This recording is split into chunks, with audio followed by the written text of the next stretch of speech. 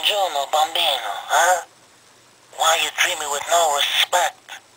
You can get out of that bed, or I can come in and get you out of that